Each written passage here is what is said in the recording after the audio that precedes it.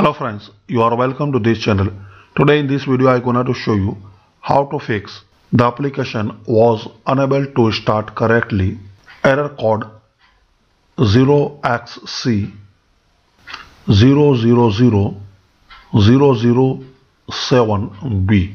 This error occur when you try to recently installed games like GTA or you are playing are you working on Adobe Lightroom or After Effect so sometimes you getting this error.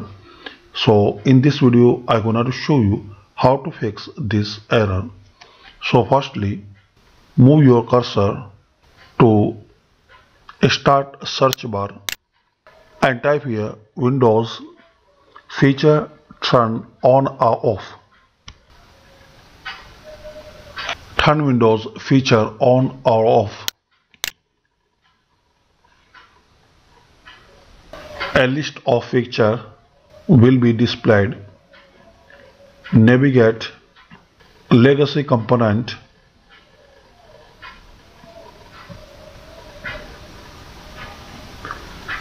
Now click on extend it and check DirectPlay and click on OK.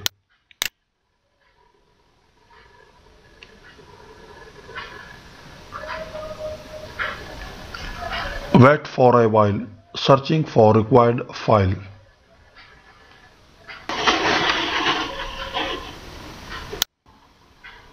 Windows completed the requested changes. Now click on close. That's done. Now restart your PC.